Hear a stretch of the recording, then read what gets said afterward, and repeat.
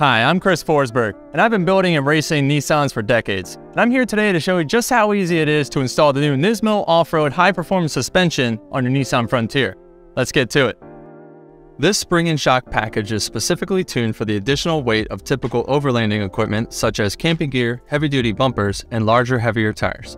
The front features multiple snap ring grooves in the body, which allows for different spring seat positions, providing up to 2 inches of front lift based on your truck's model.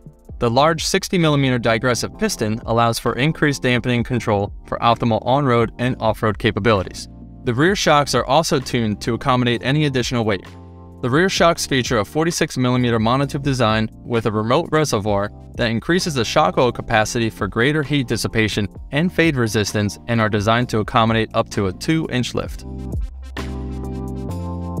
Apply penetrating oil to the lower control arm bolts upper control arm ball joint, and lower strut bolts for a few days in a row prior to the lift install. This is especially important if you live somewhere where the road salt is used. If you are not utilizing a lift, park on level ground, firmly set the parking brake, and chalk the tires. Break the lug nuts loose while the tires are still on the ground.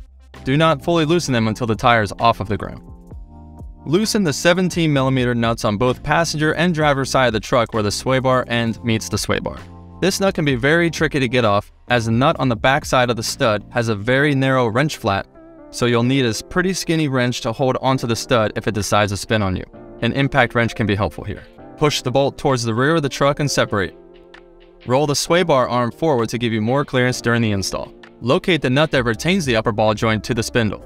Remove and discard the cotter pin using needle nose pliers. The upper control arm is under tension, so pull down on the control arm to loosen the 22mm nut that retains the upper ball joint to the spindle, but do not remove it. Support the spindle using wires, bungee cords, zip ties, or straps, and prevent it from falling forward and pulling on the brake lines and ABS wires when it is separated from the upper control arm. After the nut has been loosened, tap the front of the spindle at the ball joint cup with a hammer. Swing it from the front of the vehicle towards the rear until the upper ball joint pops free from the spindle. Now remove the 22mm nut. Remember to have the spindle secured with something to keep it upright. Remove the three 14mm nuts on top of the strut. Remove the 19mm bottom nut using your breaker bar or an impact gun. Using an appropriate spring compressor, compress the spring until it can be rotated freely by hand. Then, disassemble the shock and spring unit. Inspect the OE parts to be reused and replace with new parts if they show significant signs of wear. Select desired lift height by seating the circlip in the appropriate circlip location. This can be set from stock height up to 2 inches of lift.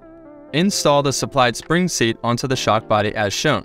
Ensure the groove inside of the spring seat fits over the circlip of the shock body. Improper installation will cause permanent damage to the shock. Install the supplied lower washer with the concave side down onto the stem of the shock. Install the supplied sleeve onto the stem of the shock as shown. Using an appropriate spring compressor, compress the supplied coil spring enough to safely assemble it with the new shock. Place the OE upper top plate and the spring isolator onto the top of the spring and install the new unit onto the spring through the center of the OE upper mount. Install the supplied upper bushing onto the stem of the rod. Install the provided new lock nut and tighten to 30 foot-pounds. Do not use an impact gun to tighten this nut. Rotate the shock so that the lower mount is aligned with the upper mount studs.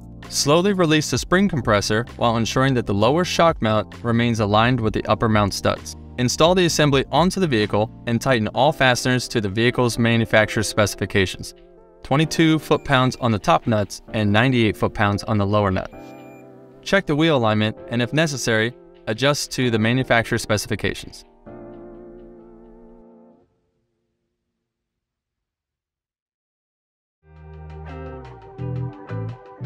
To remove rear shocks, remove top and bottom bolts.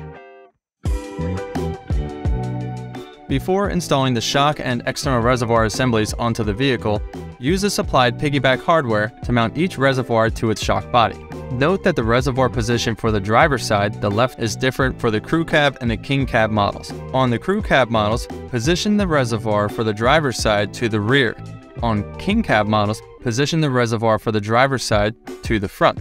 The position of the reservoir for the passenger side is the same for the both crew cab and king cab models. Position the reservoir for the passenger side to the front. The hose fittings are designed to swivel and will allow the reservoir and hose to be easily moved.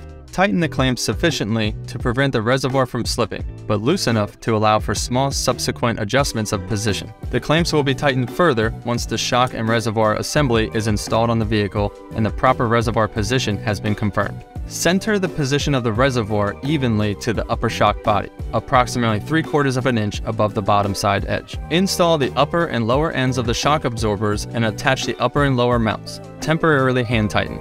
If a chassis hoist is being used, be sure to lower the vehicle such that its full weight is on the suspension prior to fully tightening the fasteners. Retorque the upper and lower fasteners to the manufacturer's specifications. Carefully check for any possible dynamic interference between the reservoirs and any other components of the vehicle, specifically the e-brake cable, leaf springs, or the spare tire.